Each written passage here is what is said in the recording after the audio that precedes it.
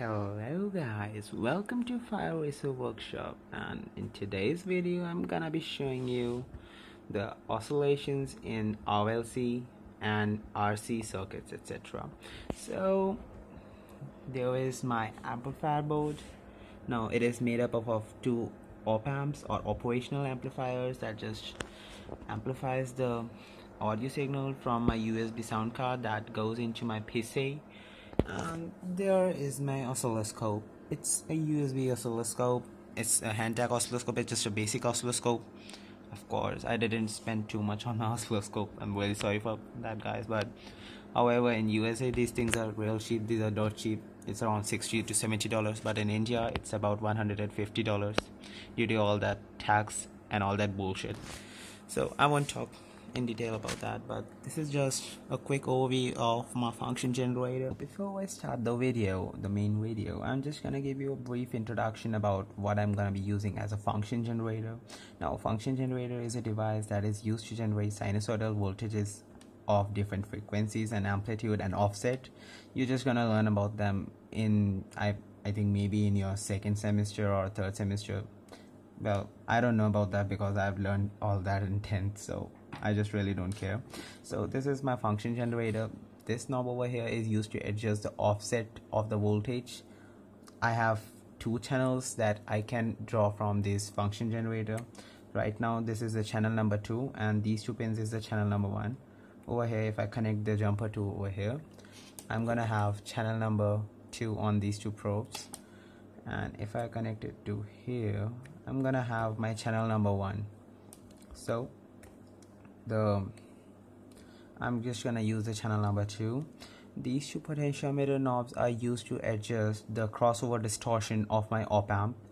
Every op amp circuit has crossover distortion. Now what is crossover distortion? I'm just going to give you a brief about that. Crossover distortion is basically when the op amp switches from sinking current to sourcing current. So it just creates a bit of gap in the sinusoidal voltage and it just, just does not look pretty. So we're gonna adjust that so that the op amp only sinks or only source the current from uh, basically uh, to power the circuit whatever we have connected on the terminals. And the greater the amount of current you draw the more is gonna be the crossover distortion. And of course it's powered by my PC this is just an amplifier board. It consists of two operational amplifiers. And it's powered by my PC using this 3.5 mm jack that I connect to a USB sound card. So this is that simple. It's powered by this laptop charger that provides me with plus minus 5 volts or 6 volts DC so that's basically I've, I've just used a type of center tap if you know about that what I'm talking about. So it just provides me minus 5 0 and 5 volts as an output so that I can power my operational amplifiers with a differential voltage so that's all about my function generator. Let's move to the oscilloscope. Now this is my oscilloscope. It's a PC USB oscilloscope that has a bandwidth of 20 megahertz and can capture up to 48 million samples per second. So and it uh, it basically uses my PC to display what waveform it captures to its two channels. That is channel number one and channel number two which is which I have connected the BNC probe. These are this is basically a BNC connected to which I've connected my probe. These are 1x 10x probes. So these are two probes and the bandwidth on these probes is 80 megahertz. Of course these they are just standard probes. And they have this clip over here that is connected to the ground. And over here that is your test lead. Basically you pull that back and you attach whatever wire you want in that and just close it. It just holds the wire in place that's all. And this is the blue one. The blue wing one is for my channel number two. And this is for my channel number one. You can see that on the oscilloscope. Of course on my PC I'm using a software called Hantek 6022BE software to operate my oscilloscope. However I have a model of uh, Hantek 6022BL because I have a 16 channel logic analyzer inbuilt with my oscilloscope. So that's all guys. Over here you can see the inputs for the logic analyzer. This is a 16 channel logic analyzer and this is for calibrating the probes. I'm just gonna move quickly move to the software. So that will be in a bit. And this is connected to my PC via this USB cable. This is a USB type A to type B cable. I guess it's the other way around. It's a type B to type A. So this uh, this cable is also used in your Arduino Uno etc so I'm just gonna move to my computer. Now this is a software that we use for our oscilloscope. Okay so I'm just gonna point my cursor. This is to adjust the time base of the oscilloscope uh, this is to adjust the voltage. Uh, that's the voltage that the voltage per division of channel number one. This is to adjust the voltage per division of channel number two and these are the three settings that you are basically gonna need. Of course you have other measurement options over here. You have all the options over here but you don't need to know that. It's just simple stuff that I'm gonna be doing today. I'm just gonna discuss it in a later video when I'll do a review of my oscilloscope. So stay tuned for that guys so over here you can see my channel number one is being displayed over here. You can see this is a line for my channel number one. Now if I connect my channel number one to the inbuilt uh, square wave generator of my oscilloscope wait for a second guys. Uh, just wait. Let me just switch to a 10x and set the trigger voltage over here. Now let's just over here you can see the beautiful square waves. Now similarly if I connect my channel number 2 to the my square wave generator you can see it also shows those beautiful square waves. Of course I'm just gonna increase the voltage a bit so you can see it a bit more clearly. Okay you can see our beautiful square waves of course I've attenuated my probes correctly so it does not has any rising or falling edge something like that because of course otherwise you're just gonna have spikes over there and here over here. Yeah all that kind of nonsense because I've attenuated my probes very well so that is not present on my oscilloscope. That's all guys that you need to know. Now let's just move to our breadboard setup. Well I forgot to tell you one thing. Over here you can see all these grids are made these are crisscross patterns that are on the screen. So basically one division of this grid is equal to the time base that uh, the time per division that we have set on the time scale over here. And the vertical the vertical grid over here the one grid is equal to the voltage that we have set over here. So basically i'm sorry my probe is at 10x so okay. So basically i've set it to 2 volts so it means if i move one division it's gonna be 2 volts of voltage. So for one division we have 2 volts. If our line moves like this so it's just gonna be just just gonna rise by 2 volts. So that you can keep in mind while you're watching my experiment. So i'm really sorry guys. I just forgot to mention the most important thing. Sorry so now we're just gonna quickly assemble our circuit on a breadboard. If you don't know what a breadboard is you can watch my video in which i just covered the basics of the breadboard and also show you a bunch of things that you can plug into the breadboard. First of all i'm just gonna start with the capacitor. Now these are 0 0.001 microfarad i guess. No it's i think 0 0.0 0 0.22 microfarad capacitors these are ceramic capacitors that are used in AC signals of course these these can handle AC voltages because these are not polarized like the electrolytic capacitors. So I'm just gonna plug it in the breadboard. I'm gonna use two capacitors in parallel so I get double the capacitance. Over here you can see I've just plugged these capacitors in. Now I'm just gonna plug in the resistors now the resistors will be used to measure the current because it will just form a current shunt. So whenever current will be drawn from uh, by these capacitors it will create a voltage drop across the resistors. So thus we can measure the current. I'm just gonna use two 10 uh, 10 kilo uh, 10 ohm resistor not kilo ohm. I'm just so fond of saying 10 kilo ohm that I said 10 kilo ohm. These are two 10 ohm resistor and I'm just gonna put them in series.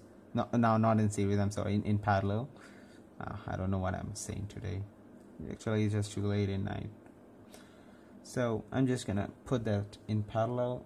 Now I'm just gonna connect my positive lead to the capacitor leg over here. You can see.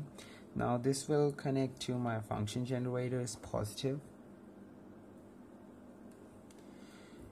The negative lead is just gonna be connected the capacitors negatively lead is just gonna be connected to my oscilloscope. So I'm just gonna connect a jumper wire over here. And just connect this thing to my probe number one. That's the yellow probe. I just plugged in my probe number one to this.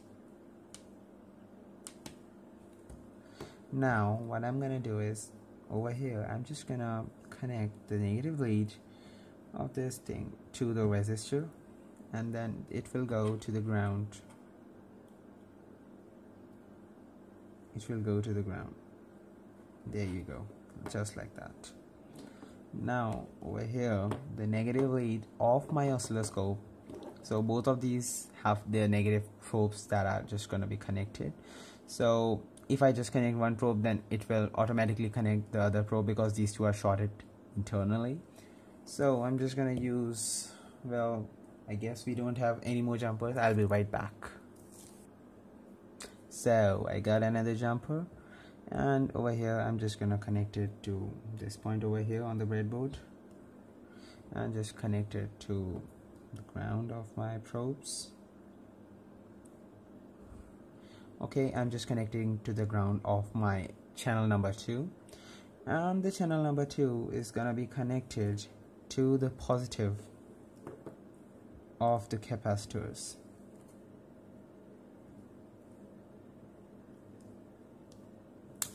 Oh I'm sorry. Oops.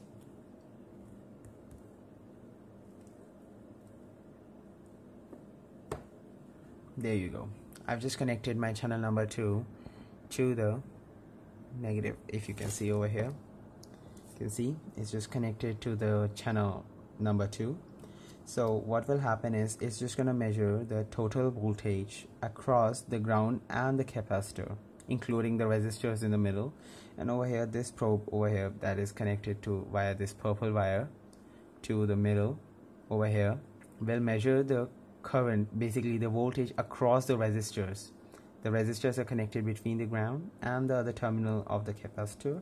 So it will measure the voltage across the resistor and the voltage across the resistor can give us the current.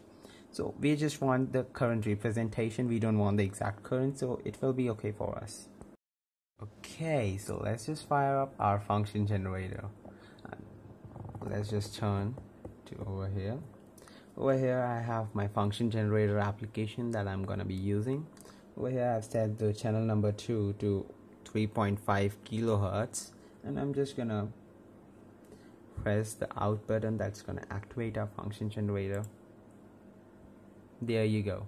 A function generator has been activated. Let's just minimize it.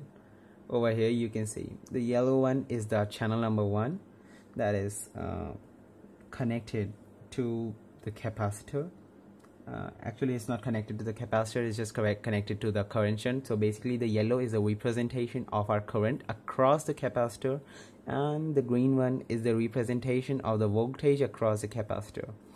Over here you can see the yellow probe is our channel number one.